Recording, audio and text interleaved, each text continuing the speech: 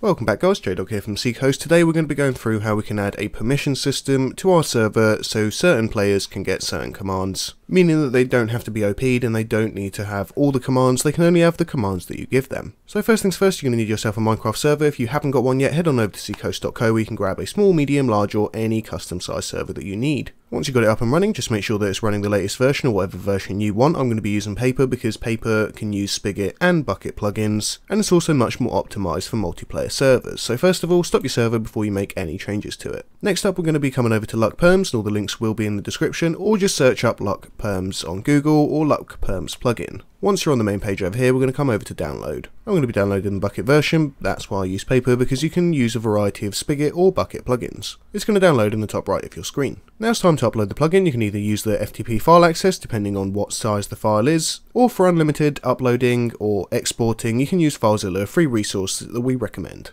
Or of course you can go to the plugin list and search for the plugins that way. However, I'm going to be using FileZilla, so once I'm up and connected to my server, my server file is going to be on the right hand side. I'm just going to open up the plugins. As you can see, I have two plugins already installed. And by using the folder selector over here, we can find where I've uploaded it to. So I've uploaded it to my desktop, as we can see, Luck Perms right over here. So what I'm going to do is I'm just going to drag and drop it into my plugins folder. If you're using FTP file access, simply upload it that way to your server. Once done, you can just go ahead and start your server back up again, and we can go in-game and I can show you how you can actually add the permissions to each player. So now with that uploaded to our server, let's go ahead and give default players some permissions for when they join. To do that, simply do a forward slash, do LP, and then do editor, Press enter and it's going to give you a link to go to a web page. Once you click this, it will then open up on your browser. First of all, it's going to ask you if you want to do an editor connection. You can do this or you don't have to if you don't want to. What you can do is you can just click this to copy, Come back to Minecraft and type it in as it is and now any changes will automatically be applied to your Minecraft game. But if not we can always use the apply button later. So first of all just for a quick explanation we're going to be doing this to the groups.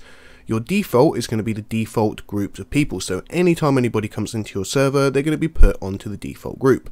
You can, of course, create new groups like this. We won't really be going into creating new groups. We're just going to be doing the default group for now. And of course, you can do this for individual users over here. Again, I'm going to be clicking on default group. Now the way to add permissions here is, for instance, in game, if I wanted to use the pay command for Essential X, if I go down here and I start to type pay, you're going to see that a lot of the commands are already pre-put in there. So if I click on that, essentials pay, I can set the value, so whether it's going to be true, if it's going to be false, that means the player definitely can't use it. And you can also set an expiry, as default is set to never. Or you can set it so it can only work for a couple of days. After that, you can also add context, whether it's going to be um, in a different world, for instance, whether in one game mode um, they're allowed to use pay, another one they're not, or whether they're jailed or AFK or something like that. Let's say for an example, if you do choose for a certain world, you can then go ahead and choose world, world nether, world the end, or a different world if you're using multiverse portals. Either way, I don't need any of that, I simply just want my players to have the essentials pay command, so I'm going to go to add. So once that's done, all we need to do is just click apply and that will automatically do it to our game. Of course, if you didn't do the automatic link up at the start, you just have to then put another link in. As you can see, it's now changed that to true.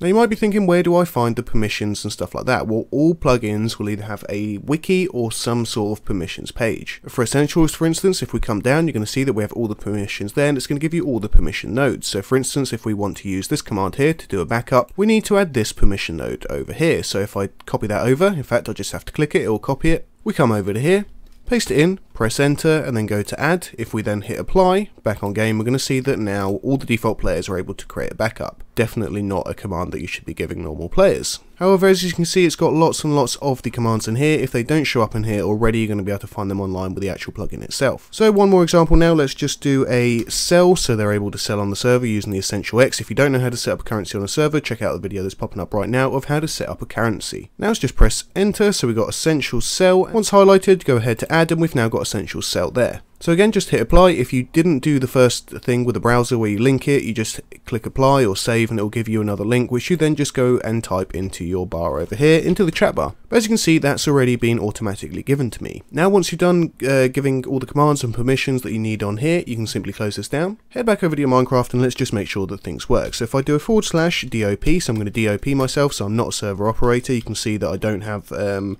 Other stuff such as balance I can't use. However, if I go to use pay, you can see that I actually can use it still because I've been given the permissions for the command. Obviously we have backup as well, but we won't be going ahead and doing a backup. But as you can see as a default player now, I can be given specific commands using the permission nodes that you give them and it's super easy to edit with being able to type it in game, do it whilst your server's still on, and have it applied to your server instantly. So thanks for watching guys, don't forget to hit that like button, subscribe if you haven't already, and for more Minecraft tutorials just make sure to check out our channel. Thanks for watching, bye bye.